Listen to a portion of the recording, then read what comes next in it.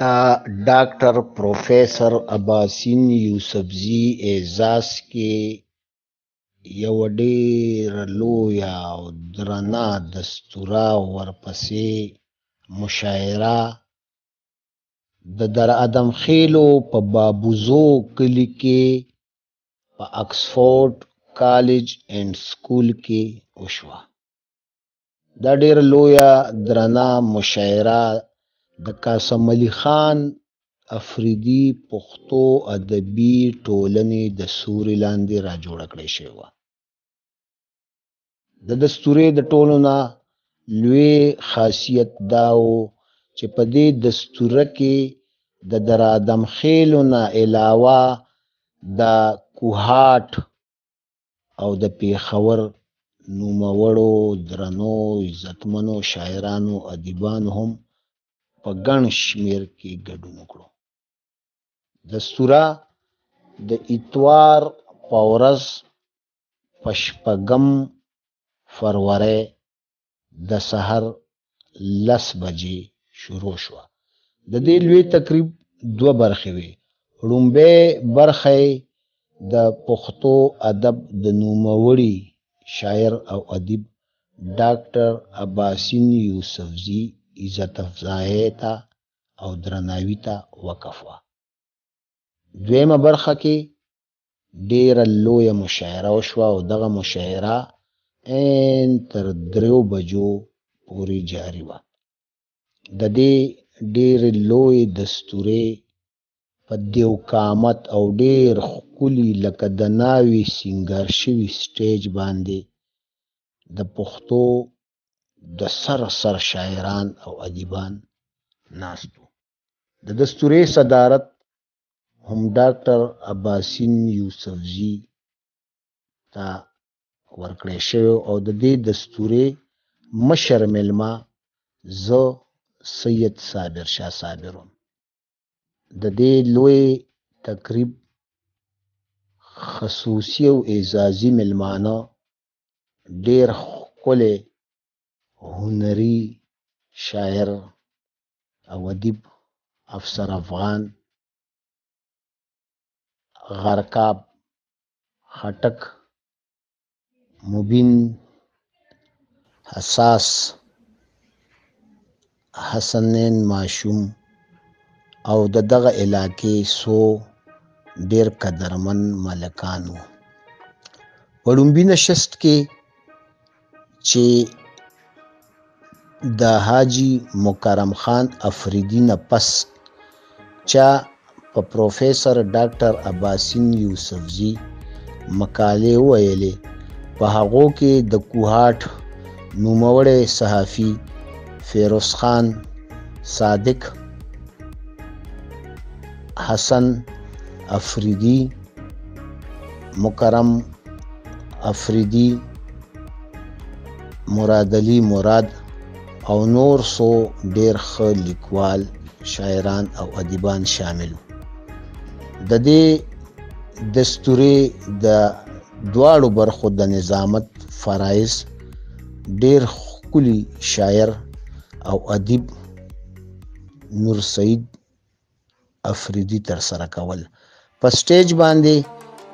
د میلمنو سره د کوربه په چوکۍ باندې قدرمن پرنسپل مکرم خان افریدی هم ناست و. د مشاعرې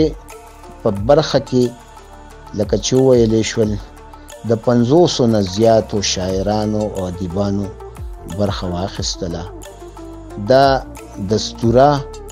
ډیر وختونه پس په دره ادم خیل کې د قاسم علي خان ادبي جرګې دسوري ړاندې راجوړه شوې وه چې ډیره کامیابه او ښکلې دستوره وه. په دستوره کې د ادم خېلو د خاورې د باشخېلو نوموړي محقق، شاعر او ادیب ډاکټر علي محمد خان افریدي هم په خصوصي دوکه شرکت وکړو. روستو د ماسپښین د مونږ نه پس په دې ښکلي او ښایسته ځای کې یوه درنه مېلمستیا هم د قاسم علي خان ادبي جرګې د ټولنې د مشرانو له خوا د تمامو ګډون کوونکو په عزت او اعزاز کې ورکړې شوله او د مینې محبت په درستخان باندې د پښتو د ژوند بقا او خایس دغه سندرمار او غزلبوره ملګري په شریکه کېناستل د دې دستورې ریکارډینګ د یور وایس ټي وي لندن لخوا شوی چونکې دا یو اوږده دستوره وه او ډېرو جدیاتو شاعرانو پکې ګډون وکړو مونږ د یو څو شاعرانو خپل خپل غزلې ریکارډ کړې دي دا تاسو ته په ډیر مینه ډیر عزت او احترام د پښتونخوا غږ خبرونه کې وړاندې کوم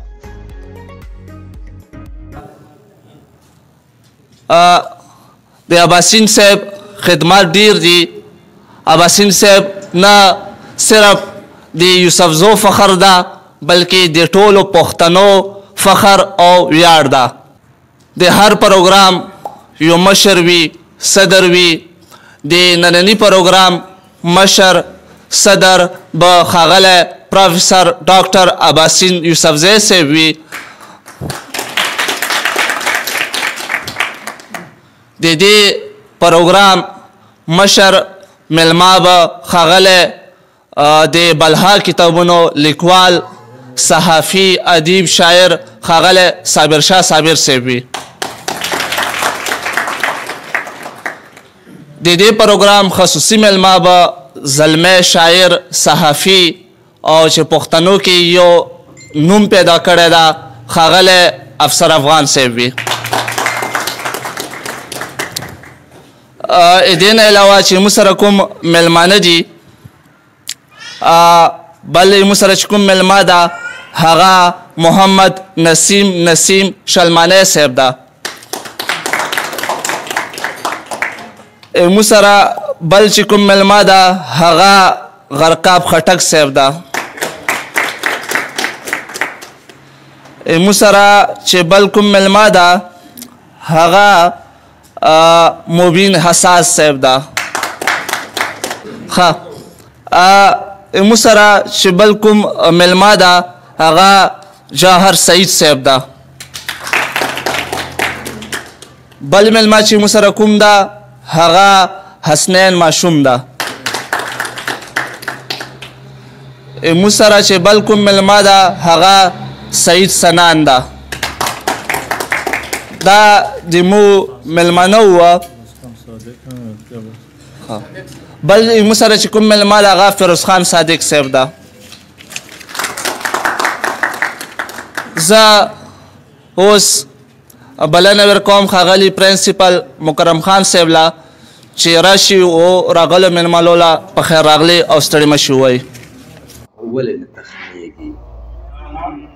غزل غزل احساس په زما ولې نه تخنېږي ګېډی ګېډی غانټول چې په لاسونو کې لید شي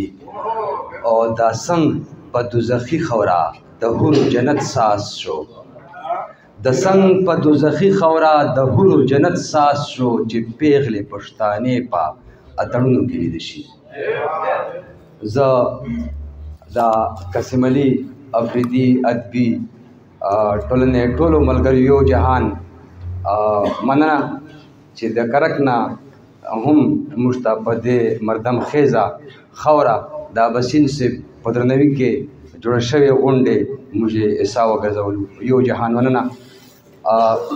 غزل وړاندې کوم د ستر افغان فیلسوف د ستر ننګیال ستر خوشحال بابا په تاثراتو باندې یو مو مات کلام او امید لرم تاسو خوښ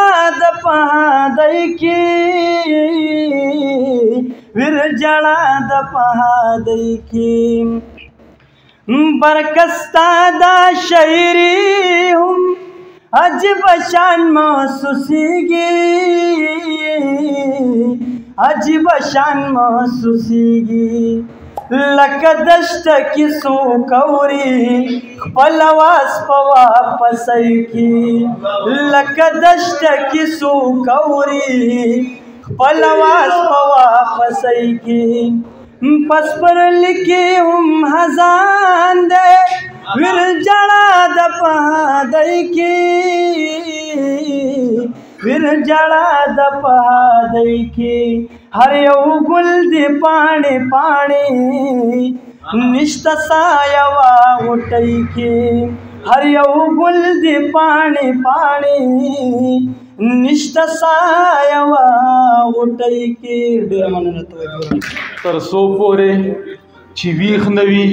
ضمیر د پښتنو تر هغه بدلې دی نشي تقدیر د پښتنو او نړۍ کې یو سامراج بل د جنت د ویدارانو داغي کړو بدرنګ کړو تصویر د پښتنو ځل نه مخکې سره سره په جزات باندې ټول شو نه چې ته درمان یې او زه هم د پر هر لور یم ته درمان یې او زه هم د پر هر لور یم ته که خور یې د سپوږمۍ زه د مور لور یم ته درمان یې خو زه هم د پر هر لور یم ته که خور یې د سپوږمۍ زه د نور لور یم په بریدونه زما لاس کې ګلابونه کتابونه او نور مزل کبیا د خپل زړه په دلیل دی نور مزل کبیا د خپل زړه په دلیل دی تر افاقه مشالونه کتابونه او هغه هوش چې ستا د لارو نه منکر وو هغه هوش چې ستا د لارو نه منکر وو نن په تا لیکي جنونه کتابونه هغه هوش چې ستا د لارو نه منکر وو نن په تا لیکي جنونه کتابونه او نیمه شپه بل ډیوا کونج د جونګړې نیمه شپه بل ډیوا کونج د جونګړې یو علي نور کتابونه کتابونه او مکتبه داري کې یو کامن انډستری دی هغه د اسلحه نو مو تعلق چون کې کتاب قلم سره دا ادویاتو سره دا نو په دره کې کاروبار تورې ټوپکې په دره کې کاروبار تورې ټوپکې د علي لاس کې ګلونه کتابونه ډېره مننه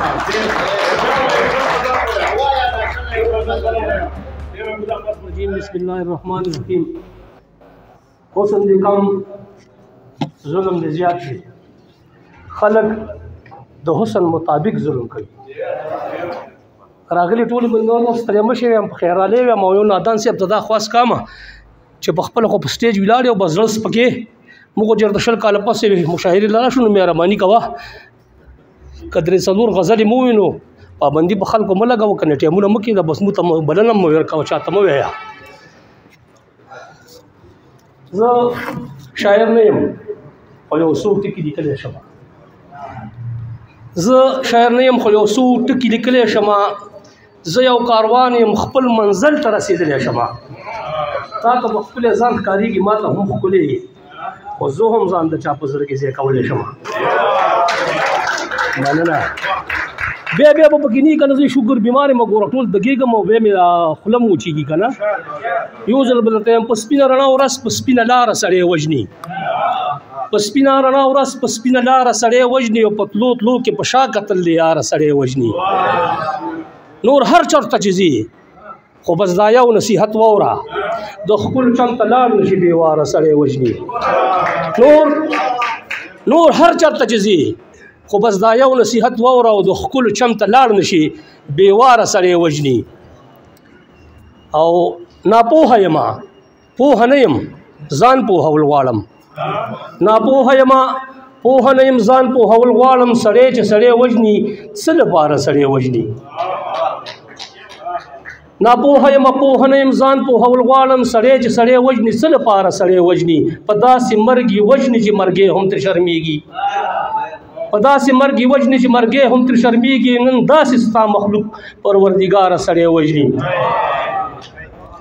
په داسې مرګ یې وژني چې مرګ هم تر شرمېږي او نن داسې ستا مخلوق پروردګاره سړی وژني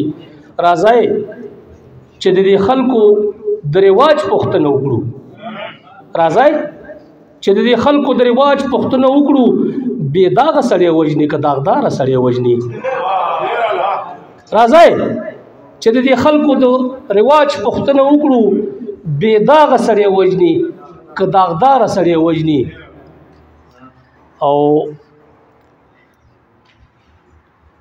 دا بازي بازي خره وایي د خر سر سړی یې مړ کړو دا بازي بازي خره وایي د سر سړی یې مړ کړو خرنوي چې دښمن له څوک بیکاره سړی وجني دا بازي بازي خره وایي د سر سړی یې مړ کړو خر نه وي چې دښمن له څوک بېکاره سړی وژني او چې چرته یې د کار سړی کتو هغه یې مړ کړو دروغ وایي رئیس چې بېکاره سړی وژني دې بل اجازه شته چې ستا ظلمونه پرې د خوند د پاسه خوند اخلي اخیر نو څنګه به پر هر د زړه پیوند اخلي زه به یې هره تسلي وکړم ستا له مخه بغیر د مینې دې که څوک رانه سوګند اخلي ما په د زړه خاریه پټ په پټ ورانه کړل او دا زورور خلک یې ما نه ښه څرګند اخلي او حق د بنګلو دی چې د هیر نه کړي احسان په عمر چې بې اختیاره د مزې په سپین مروند اخلي ما سره نور څه دي چې ورکړم مجروح رئیس دغه او ژوند دی چې نظر شکه مې ژوند اخلي دا چې په امن باندې مړه خلک دي دا چې په امن باندې مړه خلک دي څومره ښایسته او څومره خواږه خلک دي چې وي پښتون او په پښتو مین وي چې وي پښتون او په پښتو مین وي ګوره بس دغه مو د زړه خلک دي چې وي پښتون او په پښتو مین وي ګوره بس دغه مو د زړه خلک دي د باچا خان بابا پښتو ته سلام سنانه دا څومره درانه خلک دي ډیره زیاته مننه کوم د مشرانو چې مونږ ته په پروګرام کې سراګه خبرې ډېرې نه کوم مشران ناس دي او د صدر صاحب په اجازه باندې به ترنم کې یو غزل پیش کړم چې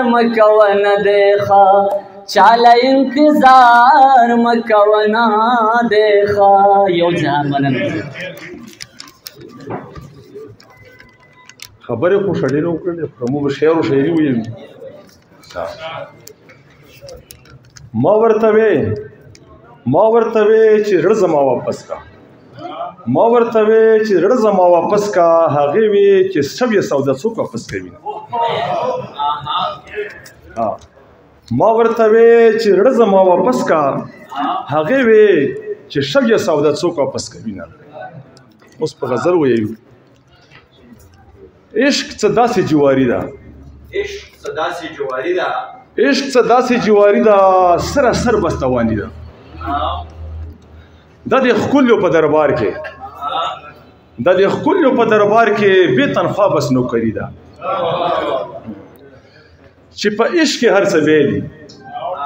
چې په عشق کې هر څه ویلي دغه کار د لیونی ده تور سپین ته بس نه ګوري شالم سه تور سپین ته بس نه ګوري دا بس خوخه ده زړګی ده تور سپین ته بس نه ګوري دا بس خوخه ده زړګی ده چې دنیا ته فکر وکړم چې دنیا ته فکر وکړم دنیا ټول ارمانی ده په دنیا کې چې دوزخ دی په دنیا کې چې دوزخ ته ای ارانو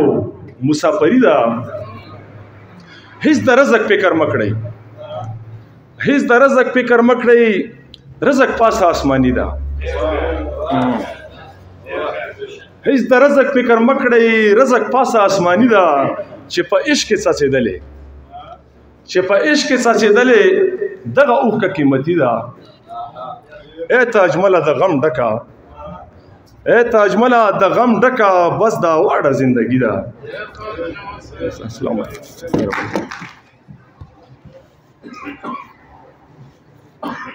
سپرلی را تا ژوندی کړي ارمانونه سوي سوي سپرلی را تا ژوندی کړي ارمانونه سوي سوي تیر عمر چې ستایي را تا یادونه سوي سوي خمار مې د ځوانې د خوب لیدلو په شان تیر شو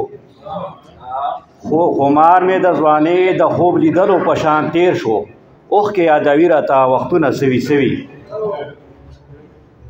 ارمان زما د زړه دی چې سپلی دلته کې تل وې ارمان زما د زړه دی چې سپلی دلته کې تل وې اغیار جوړوي دلته خزانونه سوي سوي تیرې شولې ورځې د بهار او د سیلونو تیرې شولې ورځې د بهار او د سیلونو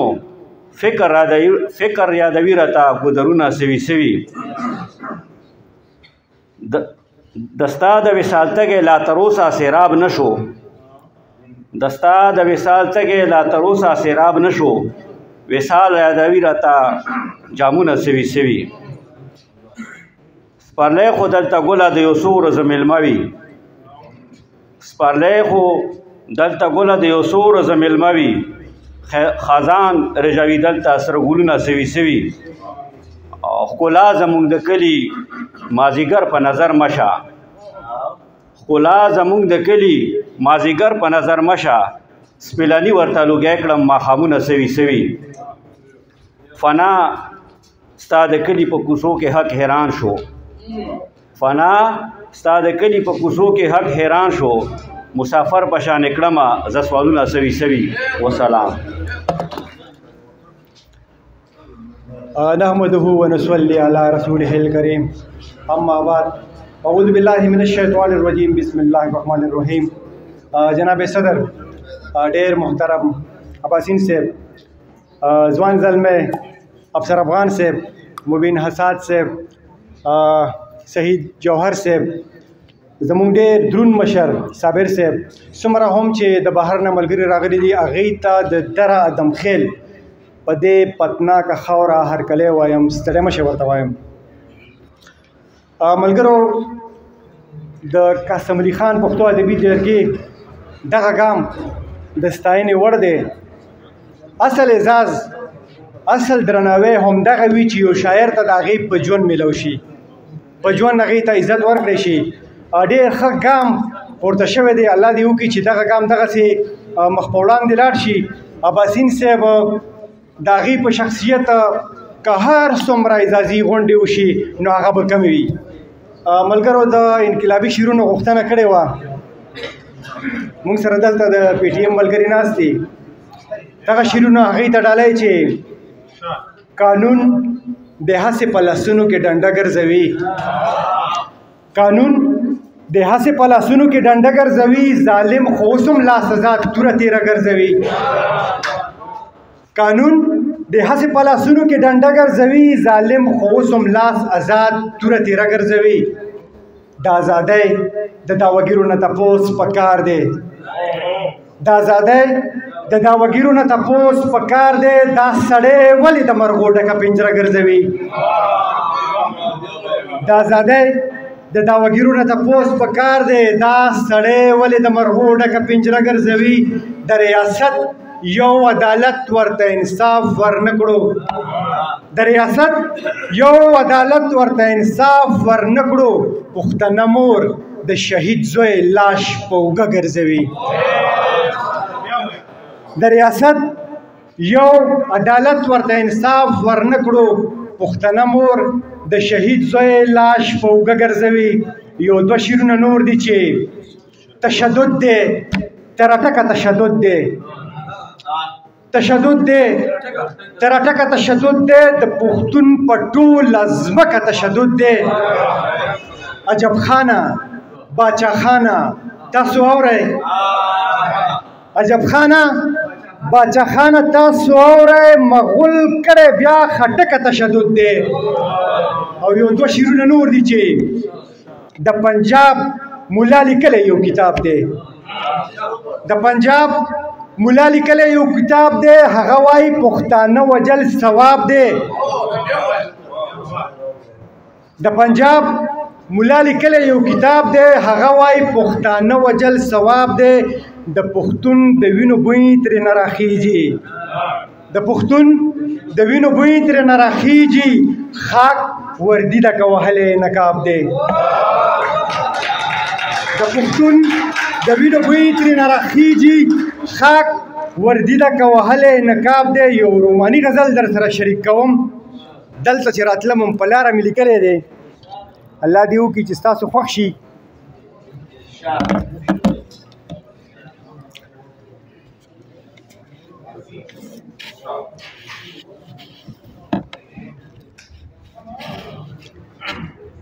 سترګې لیدو د پاره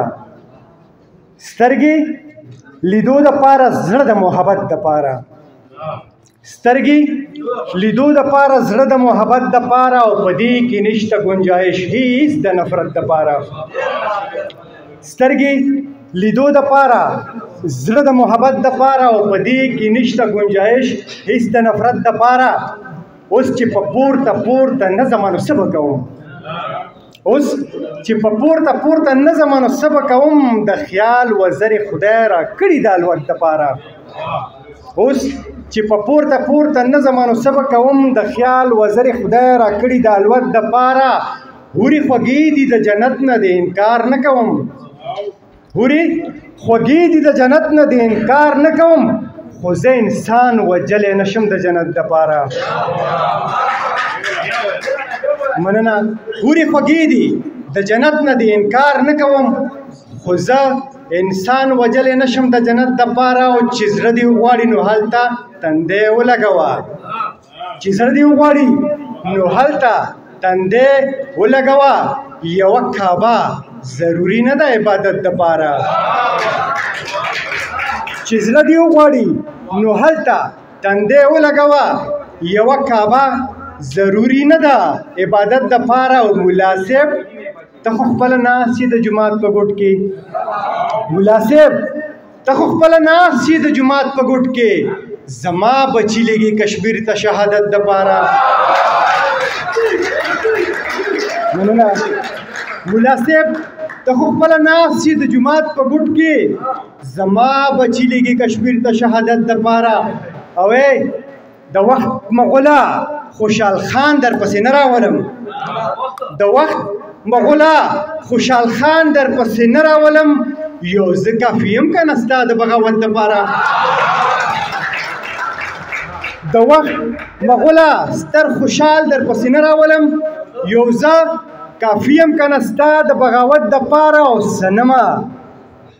سنما زکه چانه غواړم زه به مینه غواړم سنما زکه چانه غواړم زه به مینه غواړم زه خو جیبونه نه ساتم د دولت لپاره ډیره ډیره مننه د توجه تاویس پرلې چې کله راشي تاوی شرشم چې کله ګل شي چې پسرلې شي زب کلی ته درځم زه اول ټولو ملمنو لا په خیر راغلی وایم ستړي مشي ته وایم او وخت کام دا ډېرې خبرې به نه کوم د اباسین یوسفزي صاحب یو دوه شعرونه به ووایم بیا خپل غزل پیش کړم تاسو کوم ته چې کوم طرف ته زړه بدلويږي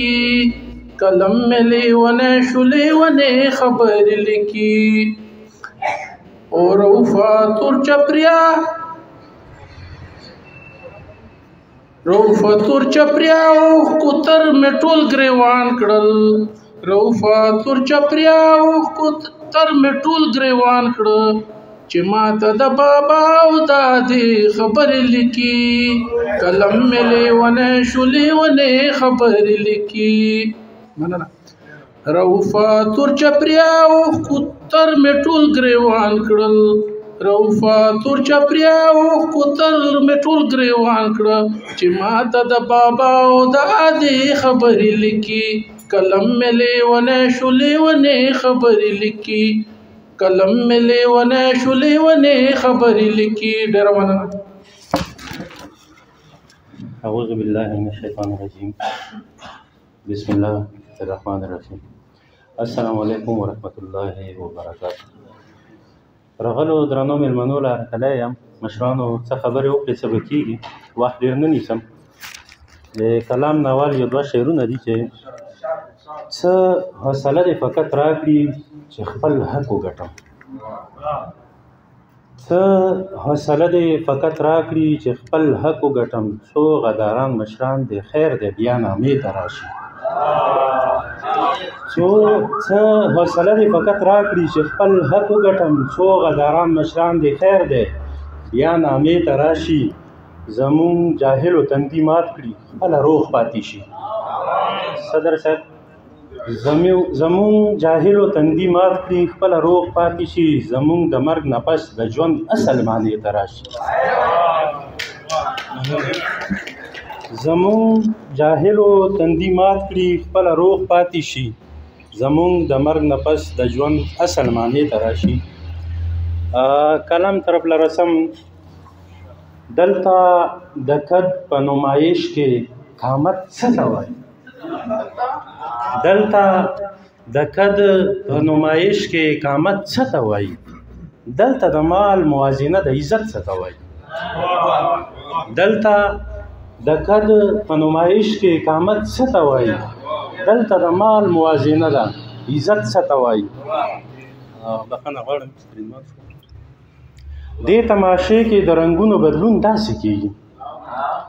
دې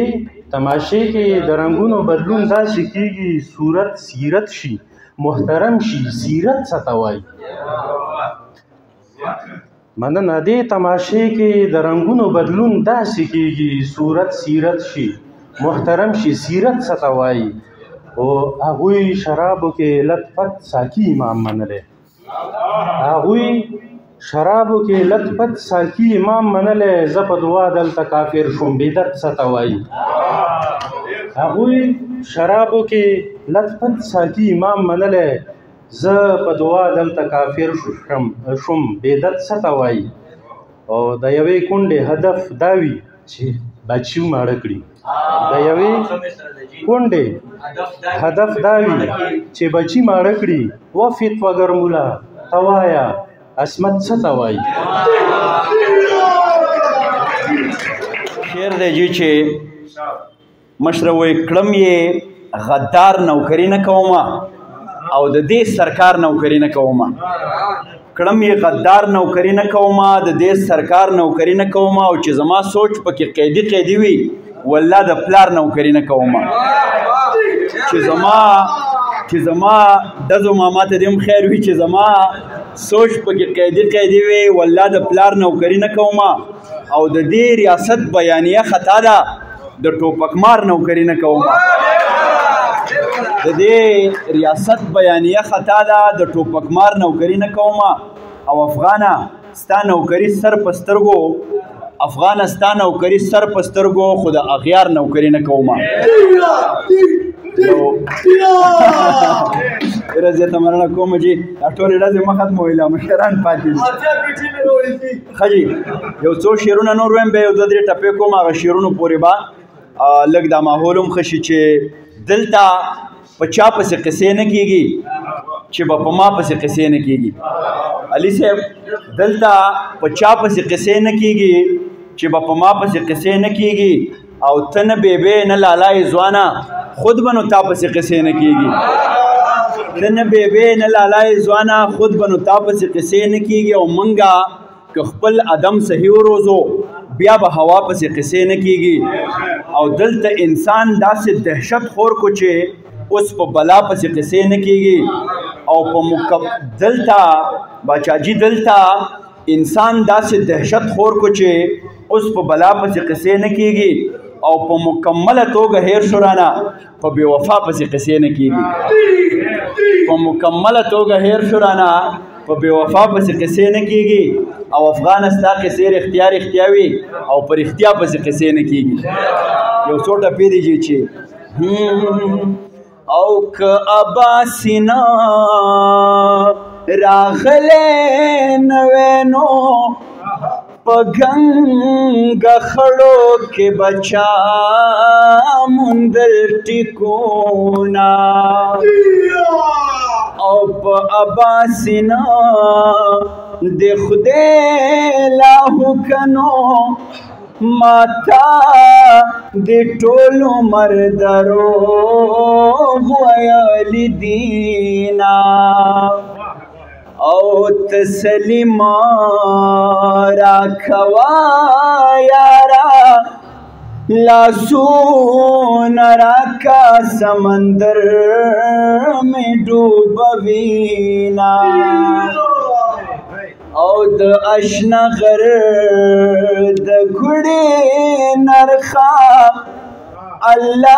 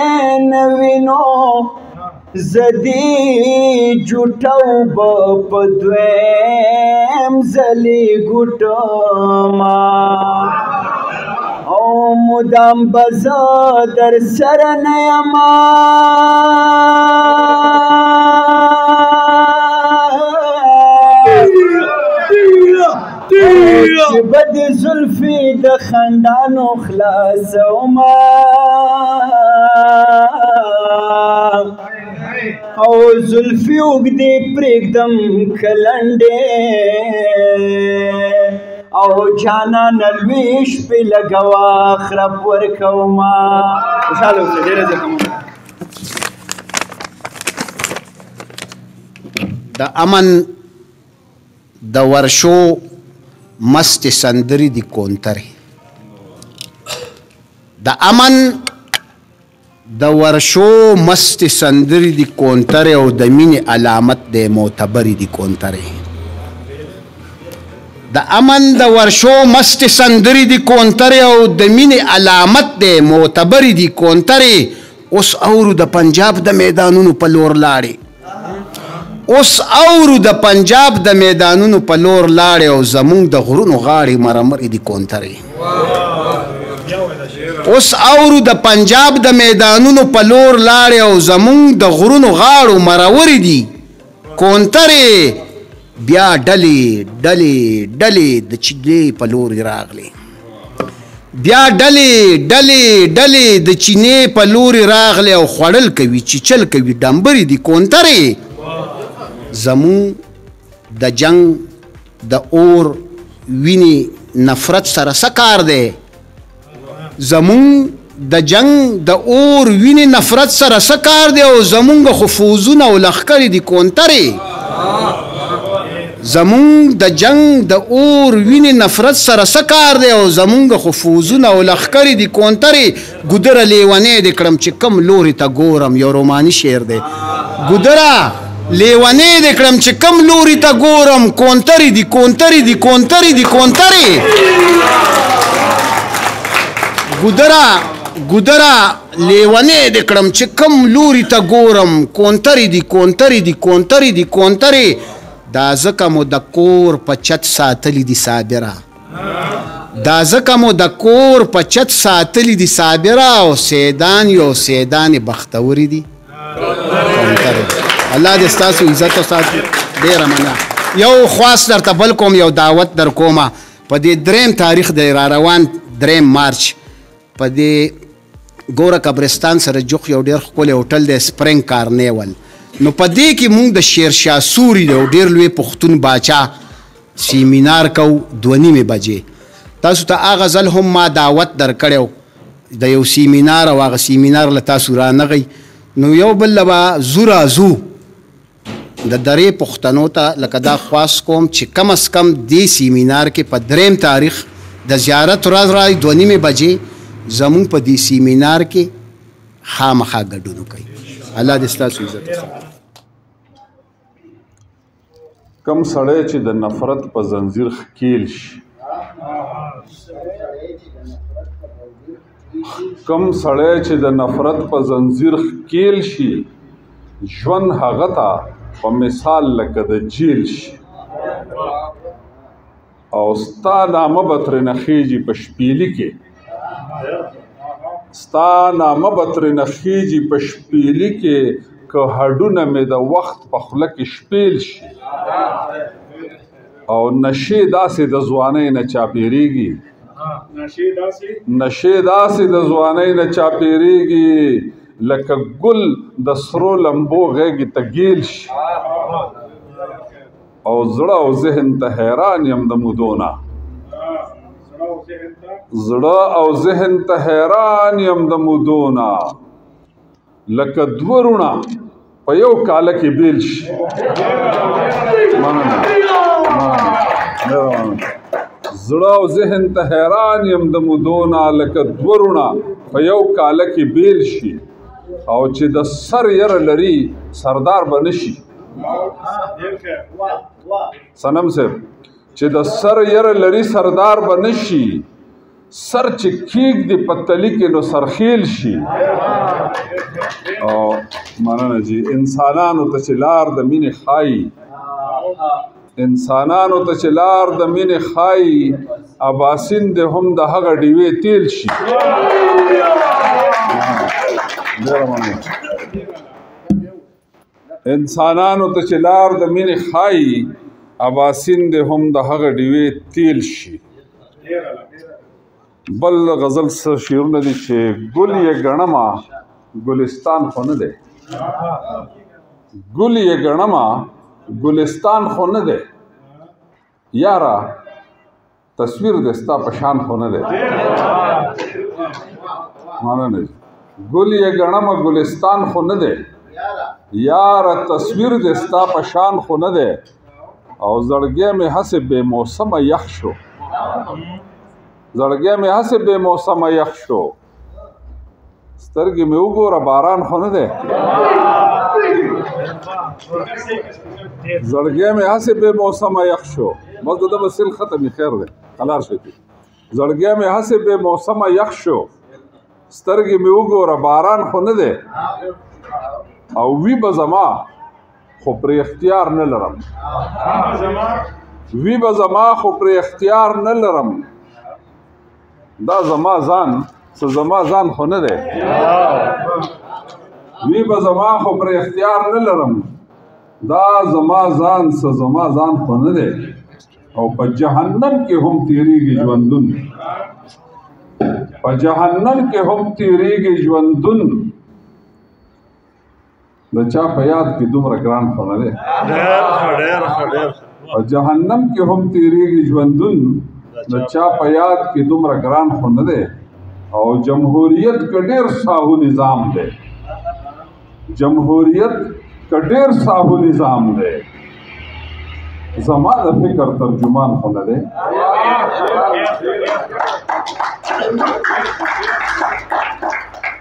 دو دو پوډریان چې نه هغه د یو